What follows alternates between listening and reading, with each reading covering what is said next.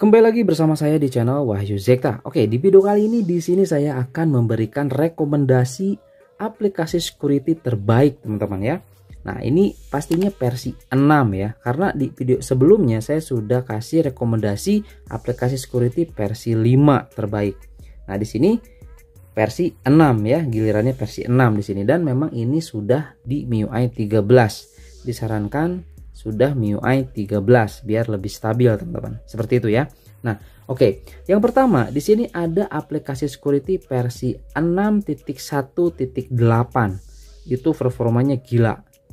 Mantap pokoknya edan itu teman-teman ya di Poco X3 Pro ataupun di device yang lain itu menyeluruh secara keseluruhan itu mantep banget ya versi itu.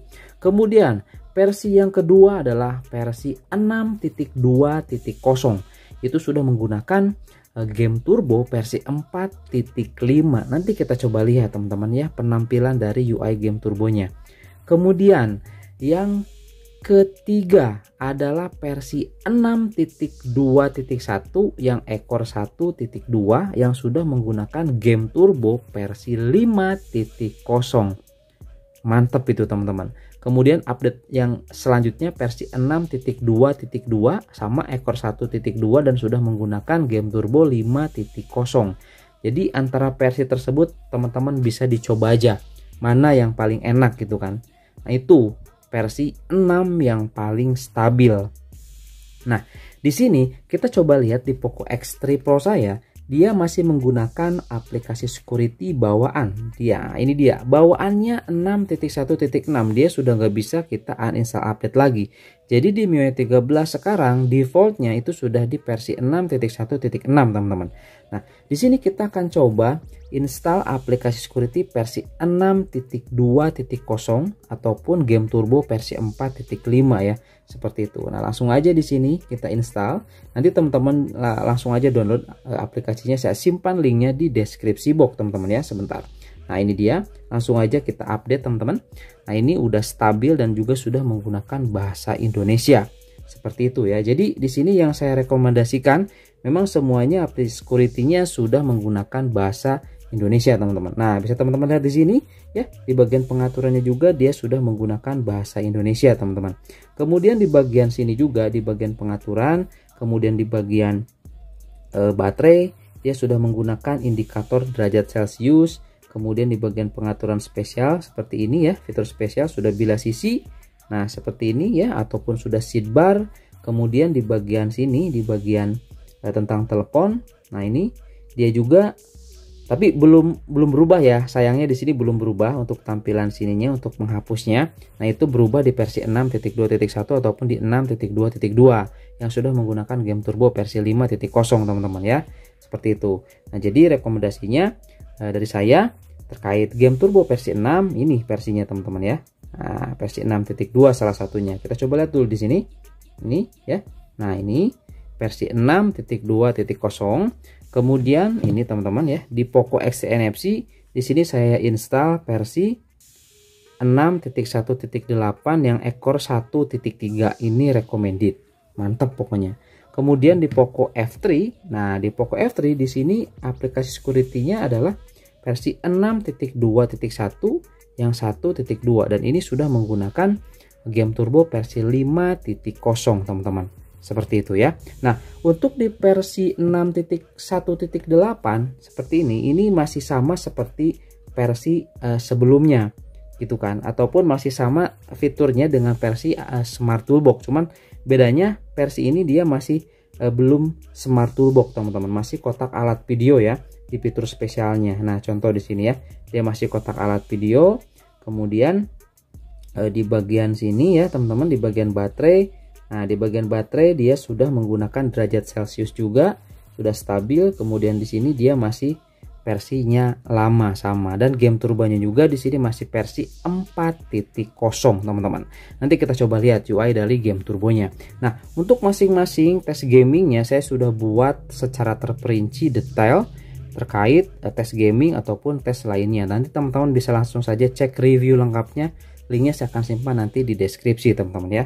Nah, yang pasti di sini aplikasi security yang recommended versi 6 itu yang pertama urutan paling bawah adalah versi 6.1.8 kemudian versi 6.2.0 yang sudah menggunakan game turbo versi 4.5 kemudian ini 6.2.1 atau versi 6.2.2 yang sudah menggunakan game turbo 5 titik kosong teman-teman. Seperti itu. Oke mari di sini kita coba ya teman-teman. Kita urutkan. Ini versi 6.1.8 di NFC ini di uh, X3 Pro 6.2.0 dan di Poco F3 6.2.1 yang sudah menggunakan game turbo versi 5.0 ini keren-keren teman-teman ya. Mantap. Oke langsung aja di sini ya. Kita masuk ke dalam game turbonya. Oke masuk ke dalam game turbonya jadi masuk ke dalam game turbonya jadi masuk ke dalam game turbonya. Nah ini dia. Gamenya jadi perlu dikoneksikan internet baru dia muncul seperti itu.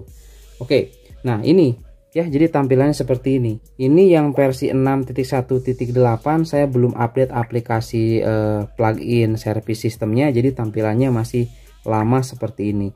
Tetapi untuk setelan GPU nya dia masih tetap ada teman-teman aman ya. Seperti ini Kemudian juga di sini di Poco X3 Pro juga sama ada ya untuk settingan customnya. Nah seperti ini teman-teman ya. Nah ini dia, ini seperti ini untuk settingan customnya. Kemudian setelan tambahannya masih seperti ini. Kemudian ini di Poco F3. Nah kalau Poco F3 seperti ini teman-teman ya. Nah kita coba lihat ya setelannya custom. Nah, kita jangan tanyakan dulu. Nah untuk di setelan tambahannya udah seperti ini. Dan ini memang bawaan dari uh, hardwarenya ya. Ada dia ada mode pro nya di bagian setelan tambahannya.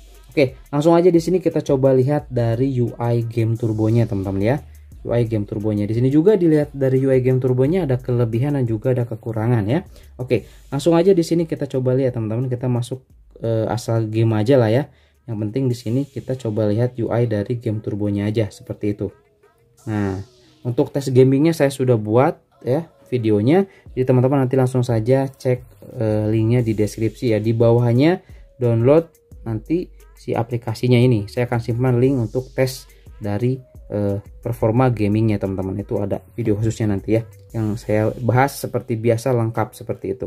Oke nah di sini kita coba lihat teman-teman ya UI dari game turbonya. Ini yang pertama UI game turbo versi uh, 4 ataupun security versi 6.1.8 ini tampilannya seperti ini. Jadi tampilan awal banget ya ketika ada game turbo versi 4 tapi ini jangan ditanya loh performanya ini keren banget loh teman-teman versi 6.1.8 ini mantep banget keren pokoknya. Kemudian kita coba lihat di sini di Poco X3 Pro. Nah dia sini sudah menggunakan jenis game turbo versi 4.5 saya sebutnya seperti itu.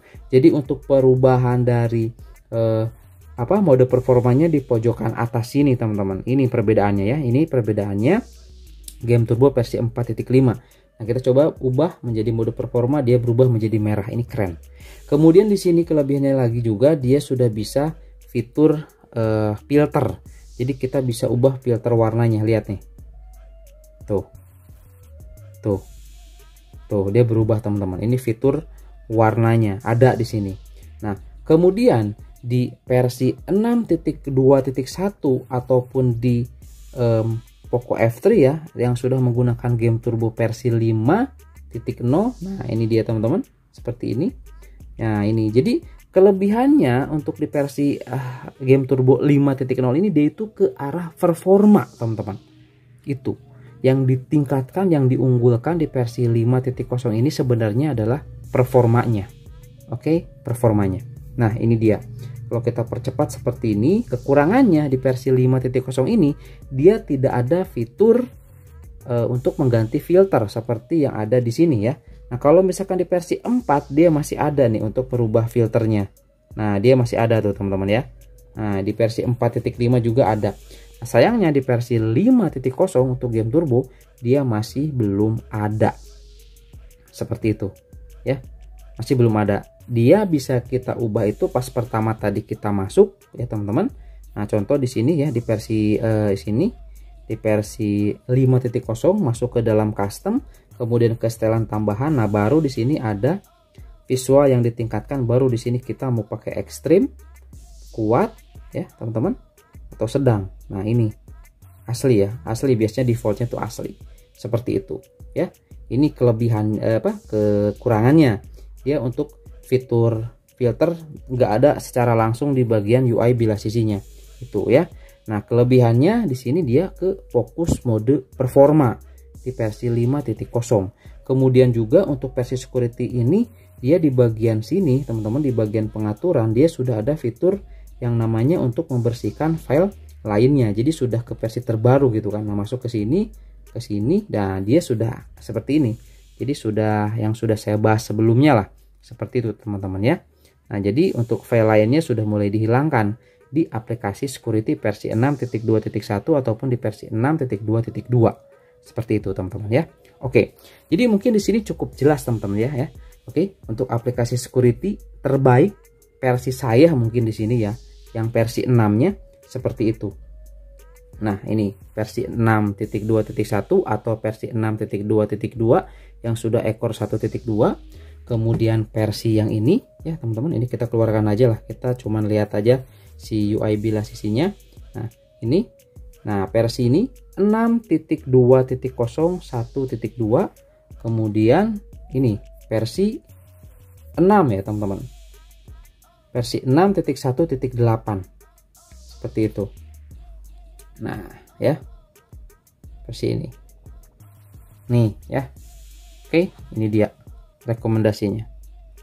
6.1.8, 6.2.1 dan versi 6.2.0 yang sudah ekor 1.2 dan ini semuanya sudah menggunakan bahasa Indonesia teman-teman itu yang paling mantep ya. Nah di pengaturannya semuanya dia sudah menggunakan bahasa Indonesia. Lihat.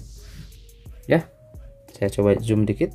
Nah ini dia sudah menggunakan bahasa Indonesia teman-teman. Tuh ya. Pengaturannya juga sudah menggunakan bahasa Indonesia dan ini versinya. Nah paling bawah versinya ya. Oke kelihatan teman-teman?